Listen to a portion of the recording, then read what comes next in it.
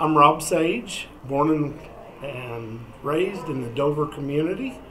Um, lived there my whole life and lifelong resident of Dover. And anyway, been a co-op member since 1990.